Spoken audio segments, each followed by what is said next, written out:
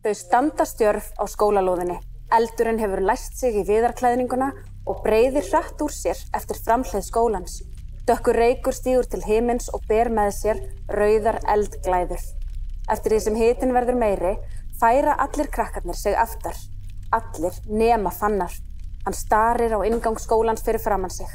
Útihurðin er úr áli og hefur enn ekki orðið eldinum að bráð.